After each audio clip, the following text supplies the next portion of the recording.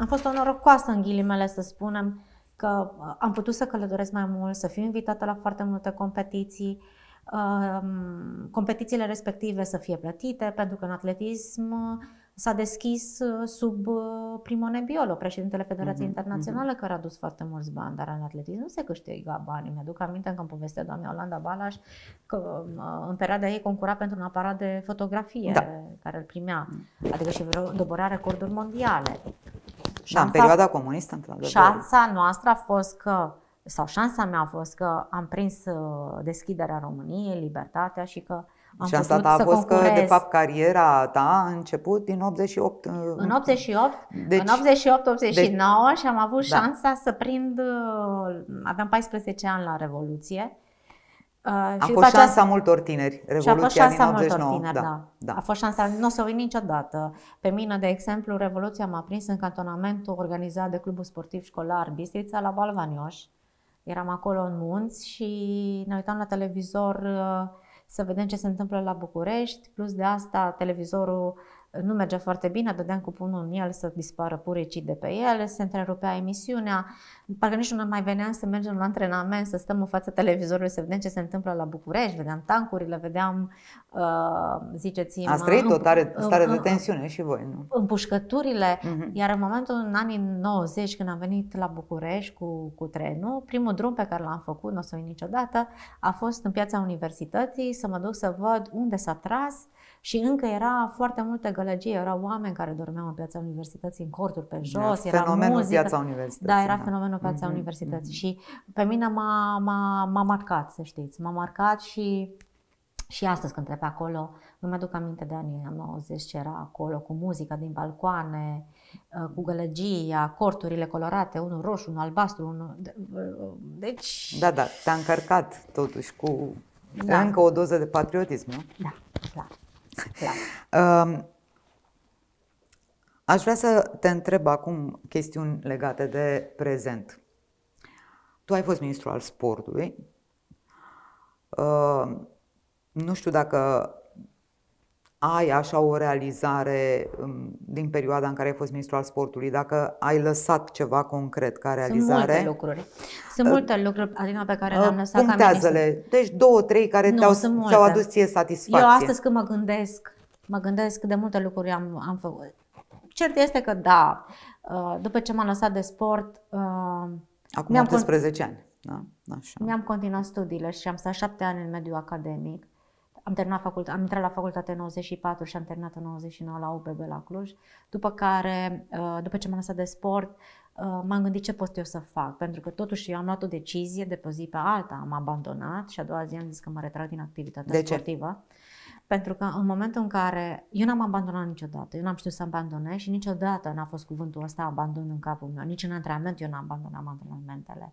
Adică mergeam până la uh, epuizare. epuizare. Mm-hmm. Ei, în momentul în care eu pe pista unde am alergat record mondial, la Birmingham, m-am întors în 2004 uh, și am abandonat cursa. Și am zis, este mm-hmm. momentul de retragere. Eu simțeam că se întâmplă ceva în corpul meu, pentru că imaginați-vă oameni buni de la 11 ani, am stat în topurile mondiale, uh, am câștigat peste, în 11 ani peste 23 de medalii la europene, mondiale, jocuri olimpice. Da, corpul zicea, ți-a spus deci că e momentul. Mintea mi-a da. spus, poate nu mintea. corpul, cât mintea mm-hmm. mi-a spus. Adică uh, să stau, în te, adică 11 ani să fii concentrat doar pe marea performanță, nu știu, adică numai cine a trecut prin, prin, prin fenomen poate să mă înțeleagă. Cine nu, o să cărcotească că de ce m-am retras la 28 de ani. Dar eu am o vorbă că decât să mă întrebe, adică să mă roage lumea să mă las de sport, mai bine să se întrebe de ce m-am lăsat de se sport. Se spune că mari performance se retrag în vârf. Și, uh, deci atunci când consideră că au atins vârful, și nu așteaptă să-i ducă panda în jos. Corect. Da. Corect. Iar în momentul în care eu am abandonat, imaginați-vă ce psihic mai aveam eu să mă duc la Olimpiadă în 2004. Uh-huh, uh-huh. Cu toate că mi se spunea, hai acasă să te liniștești, mai ai câteva luni de pregătire, dar uh, eu nu mai eram pregătită, adică mintea mea nu mai era pregătită să... Uh, să... Mie când antrenorul îmi spunea, mergem și avem antrenamentul ăsta, aha, mi se părea, zic, hai mă, Jol, pentru 8 km mă îmbrac să mă duc la antrenament. Ei, cu cât intervenea uzura fizică și psihică, cu atât mi se părea 10 km, parcă îmi spunea 30. Adică mintea nu mai era pregătită și era o bătălie între minte și, și corp. Uh, mintea îmi spunea ceva, corpul îmi spunea altceva. Și oricum, oricum eu în, 2000, în 2004 eu îmi doream să mă retrag din activitatea sportivă, că simțeam că nu mai pot. Uh-huh. Uh, dar după Olimpiadă. Și mi-am dorit să mă retrag cu medalie olimpică. Dar n-am mai ajuns la Olimpiadă. Dar nu, imaginați-vă, în două Olimpiade am trei medalii olimpice. Corect. Am 11 titluri de campioană mondială, adică din 91 și până în 2004, i-am câștigat tot ce se poate câștiga. Spuneți-mi și mie, câți din sportivii lumii se pot lăuda cu trei medalii olimpice de aur, cu 11 titluri de campioană mondială, nu știu câte la europene, apoi să nu mai vorbim de locurile 2 sau vicecampioană mondială, că și alea sunt în palmaresul Ești meu. o excepție în atletism. Adică mondial, da. Despre asta discutăm. Restul, din punctul meu de vedere, că mai aud una alta pe la ureche, dar trec așa, știți, uh, ca Știm. vântul, sunt, uh, sunt cârcoteli, sunt răutăți și mai mult decât atât, sunt invidii. Adică eu m-aș uita în CV-ul celui care comentează, critică, ce a făcut el ca să poată să-și permită să aibă un punct de vedere negativ la o carieră sportivă imensă.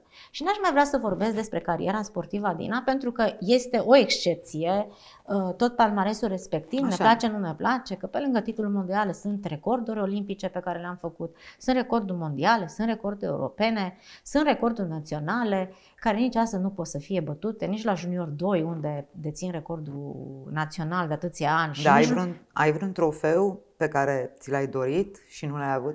Mai n-am titlul de campion european la aer liber. L-am în sală, dar nu l-am în aer liber. În schimb, am locul 2.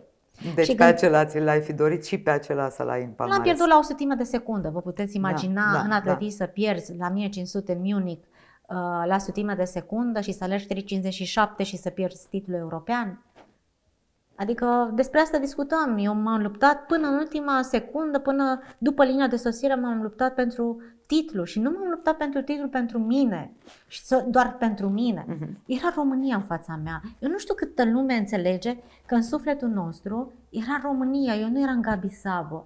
Și pentru România, să nu fac de rușine, munceam de 10 ori mai mult și îmi doream că atunci când ies în competiție să fiu cea mai bună. Imaginați-vă că steagul României, și nu spun din patriotism sau că da, asta simt, Steagul României 11 ani era pe cel mai înalt Qatar și se bătea cu Statele Unite, cu China și cu Rusia, cu marile puteri economice, sportive și cum vreți să o luați. Ah. Să fie România peste China și Rusia și Statele Unite și să uh, vă imaginați așa ceva?